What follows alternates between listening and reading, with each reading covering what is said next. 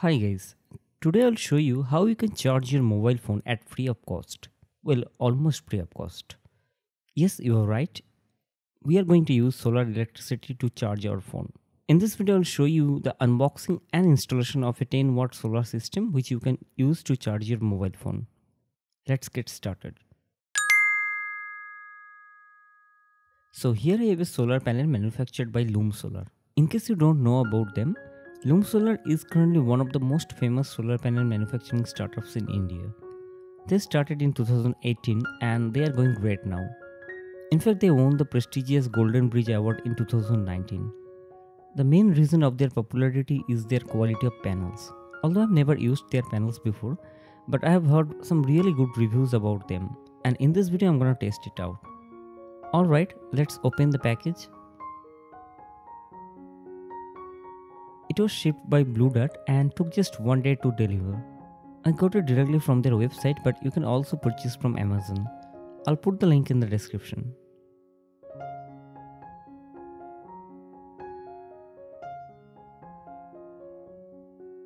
This is the 10 watt panel and you can get it for around uh, 1000 rupees from Amazon. Well, I'm impressed with the packaging. It's very well packed. That means it will take some more time to open it.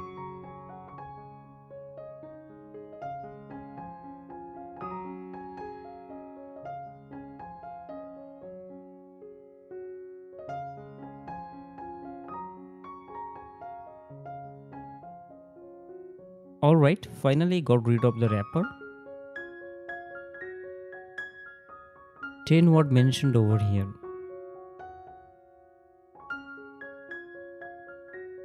And here are some certifications of the company. This panel comes with a 25 years of performance warranty. That's really nice. And here are some more product information.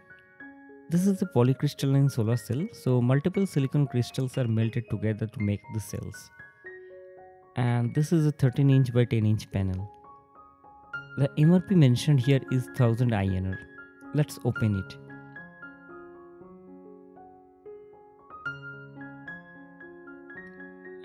And here we go. We have nothing else inside the box. Let me get rid of it. The panel quality seems really good. Let's check the back.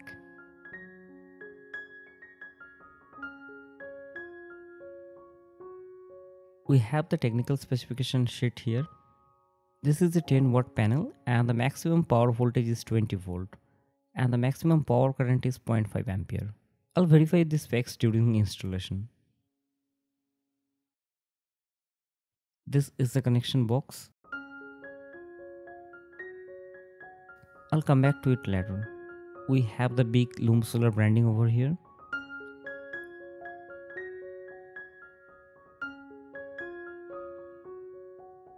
Let's see what's written in the warranty card.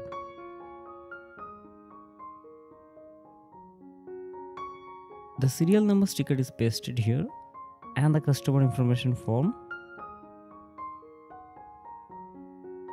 You can find their address and the contact details here. Here are some detailed information about the warranty. So it seems that in case of something happens within 12 months, you don't have to pay anything. But after that period, you have to pay 500 rupees visit charge for the assessment. And then in case the panel fails to produce at least 90% of the minimum power output, then it will be covered by the performance warranty of 25 years from the date of delivery. And like every other products, if any damage happens due to your mishandling, the warranty will not be honored. That's fair I think. I'm really impressed with the panel quality. And this frame is quite sturdy. I think it's made of aluminium. Let's check the connection box. You can slide it open like this. Here we have two terminals. The right one is the positive and the left one is the negative. Let's put it back.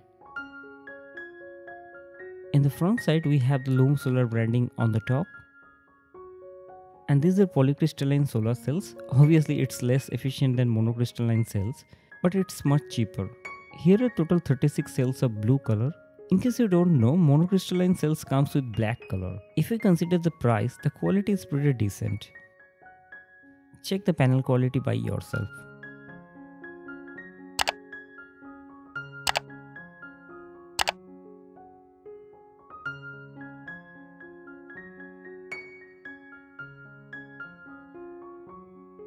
Before testing it, let me quickly measure its weight. See, the main purpose of having a 10 watt panel is the portability, so that you can carry it with you for outdoor purposes.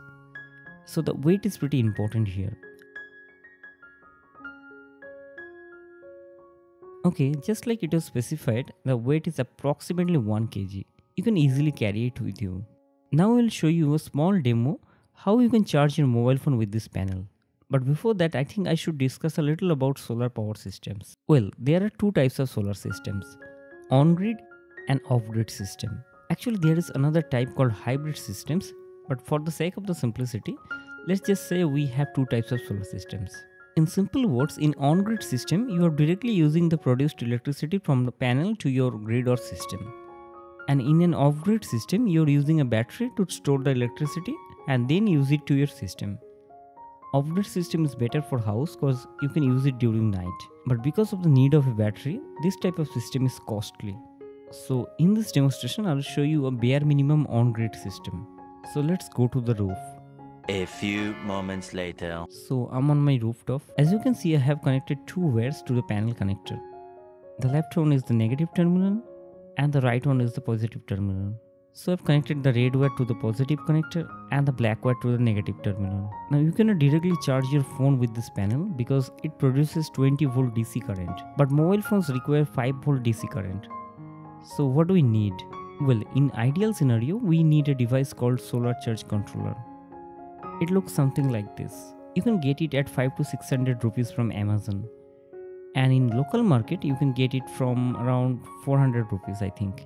Unfortunately, I didn't get the time to purchase one, so I'll use a makeshift solution. But you must use a solar charge controller, cause without a controller, it'll damage your device. Or if you are using a battery and you are not using a solar charge controller, charging at wrong voltage will kill the battery. So better safe than sorry and buy a solar charge controller. Anyway, I don't have it with me, so I'll use this cord charger. This will help me to get 5 volt USB output. So we have three terminals here. This one is the positive terminal and this side terminals are negative. Let me connect the wires. So I'll connect the positive wire to the positive terminal and this black wire to the negative terminal like this. For your convenience, you should tape these wires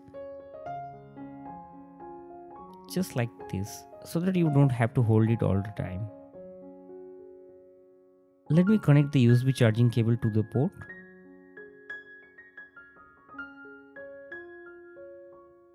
And we need to connect the other end to our phone.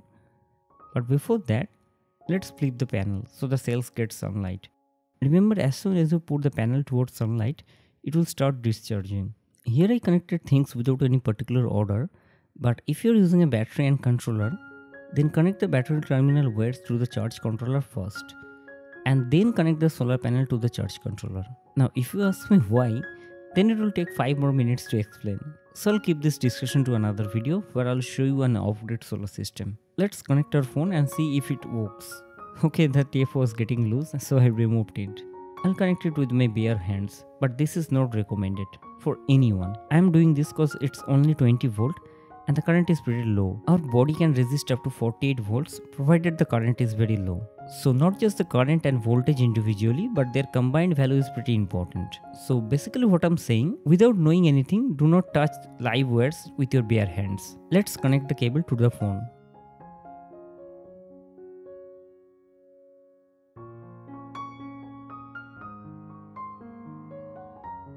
Great. You can see the phone turned on. I'm not sure if this is visible to you due to bright sunlight, but I can see it's charging from solar cells.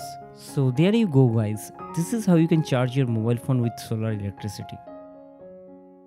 Let's turn on the phone and try again. So I have turned on the phone, let's check. See, the device is charging. Now this Loom Solar solar panel produces 10 watt DC electricity so you can connect any DC devices which takes up to 10 watt current. I mean DC current. But remember you cannot connect any normal household AC bulbs to it. For that you need a DC to AC inverter device. Alternatively you can use DC bulbs. Alright now let's connect 12 volt DC fan to it and test. So this is a 12 volt 0.6 ampere PC case fan and I'm gonna connect the wires. Black to black, red to red.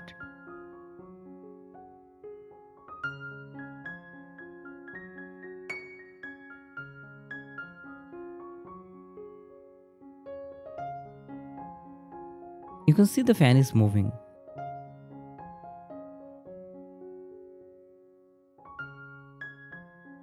The airflow is pretty decent I think. It means it's getting the required 12 volt. Alright, our test and review is almost over. Just one thing left. Let me see exactly how much voltage I'm getting out of this panel. It will give us an idea about the efficiency of this panel. Today is pretty cloudy, so I don't hope it will give us the full rated voltage. So I've connected a multimeter to the panel, the red probe with the live wire and the black probe to the negative. Let's set it to DC 20 volt Wow, even at this cloudy weather, it's giving approximately 20 volt, which is the rated voltage. This is amazing. So guys, this is a really good solar panel from Loom Solar. If you want to purchase one and dive into solar energy world, go ahead. The link is in the description. Let me know in the comment section if you want to see more solar energy related videos in my channel. And if you have any other questions, feel free to ask. I'll definitely reply when I get time. Like this video and please subscribe so that this much effort doesn't go in vain. See you in my next video. Thank you.